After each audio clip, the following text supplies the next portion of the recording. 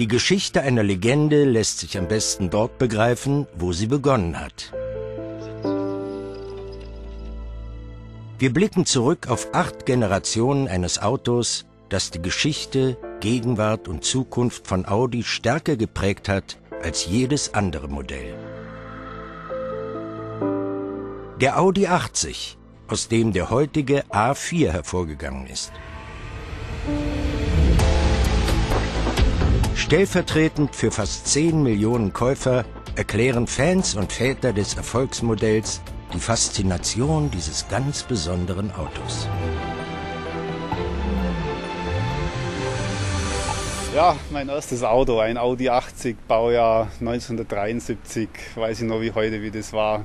Also mit dem Kumpel aufs Fahrrad gesetzt und Straßen abgefahren und komme an der Tankstelle vorbei und da ist er gestanden. Korallrot war er, zweitürig, 55 PS.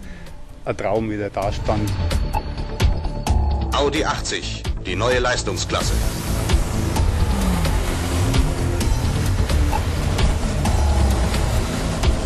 Wir wussten, das ist einmal das Auto, das in Ingolstadt eben äh, ja, zu Stückzahlen kommen muss. Und deshalb hat jeder, und wir waren eine kleine Truppe damals, sein Möglichstes getan, um ein gutes Auto zu entwickeln. Der Motor sollte entwicklungsfähig sein, aber er sollte auch im Verbrauch, im Geräusch und in der Fertigung die Anforderungen der Zeit erfüllen. Der Konstrukteur, der ein Gramm aus dem Auto herauskonstruiert, bekommt dafür ein Gramm Gold.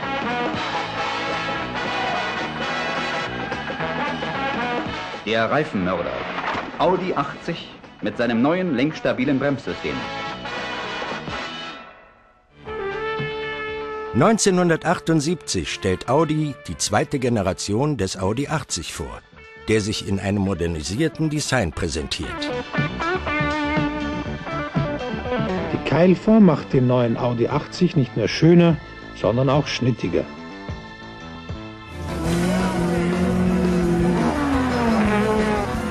Das war ganz am Anfang von der Audi-Zeit, ich glaube es war die zweite oder dritte Rallye, die wir mit dem Audi 80 noch gefahren sind. Das war wirklich der Beginn einer neuen Ära für Audi. Es war das erste Fahrzeug, das für Audi Weltmeisterschaftspunkte geholt hat. 1980 dann eine technische Revolution. Audi bietet mit dem Quattro den ersten Seriensportwagen mit permanentem Allradantrieb. War nicht ganz einfach zu fahren, weil als Rallyefahrer ist man gewohnt, dann die Radien etwas mit der Handbremse zu verkürzen. Das ging nicht. Speziell bei losem Untergrund, ob jetzt Schnee oder Eis oder Schotter oder auch wenn die Straßen feucht waren, hat das Auto eine überragende Traktion gehabt. Und wir konnten das alles wieder wettmachen, auch wegen der unglaublichen Motorleistung.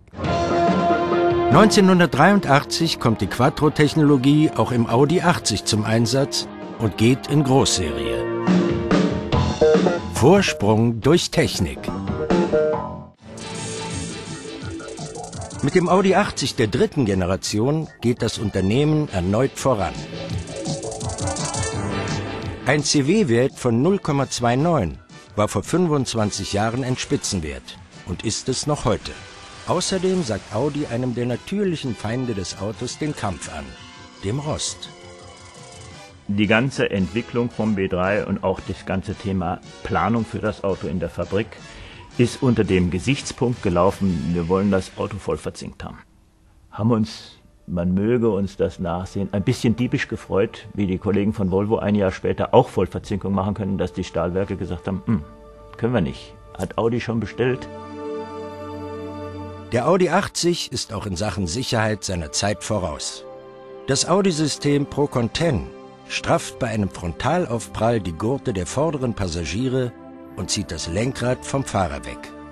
Sicherheit serienmäßig.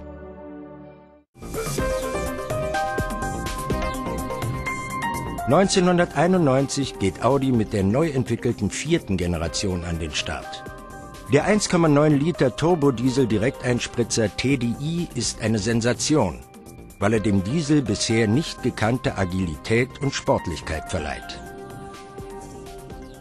Wir hatten beim B4 eine Vorgabe gehabt, dass das ganze Auto 25 Stunden kosten darf in der Fabrik vom Rohbau, Lack, Montagen. Wir haben es tatsächlich geschafft, dass man diese Zeit einhaltet, wo man vorher immer 30 und 35 Stunden gehabt hat, aber es war eine ganz knalle Vorgabe.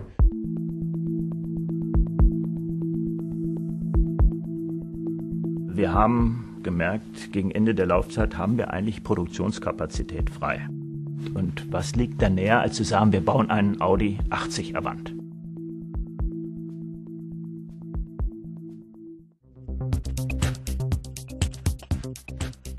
Ab 1994 wird der Audi 80 zum A4.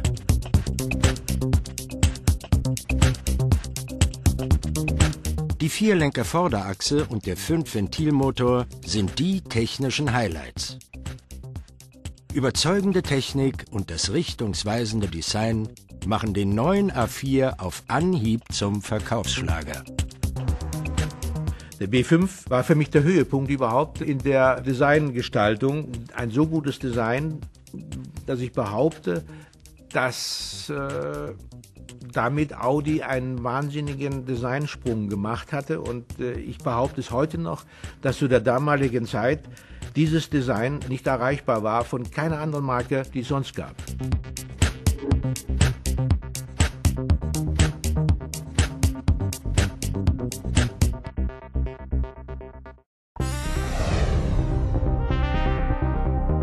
Die zweite Generation des A4 kommt im Oktober 2000 auf die Straße.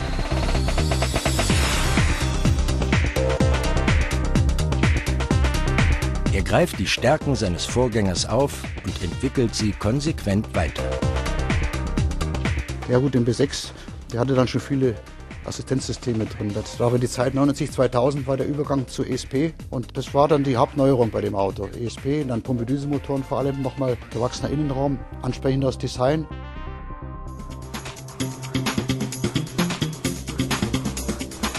...2004, die dritte Generation des A4 mit einem neuen, unverwechselbaren Gesicht. Hier sehen Sie zwei Rennwagen für die DTM. Auf der linken Seite haben wir das Auto, mit dem ich letztes Jahr einige Rennen und die Meisterschaft gewonnen habe. Rechts sehen Sie den Wagen, mit dem wir dieses Jahr unseren Titel verteidigen wollen. Das neue Auto hat den neuen ungeteilten Kühlergrill. Dadurch wird die Luftzufuhr verbessert.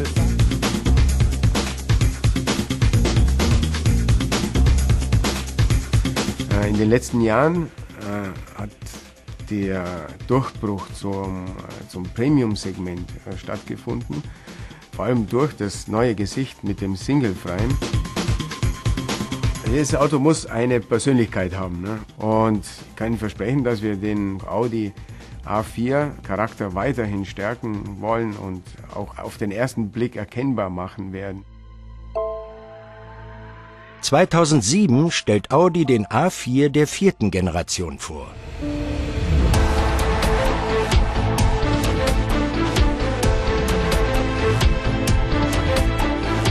Das neue Auto knüpft nahtlos an die Erfolge der Vorgänger an und bricht alle Rekorde.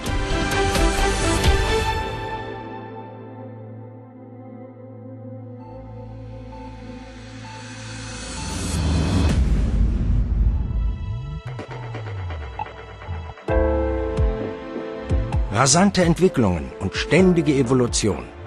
Doch der Grundidee von einer kompakten, sportlichen Limousine, die Emotionen weckt, wird Audi auch in Zukunft treu bleiben.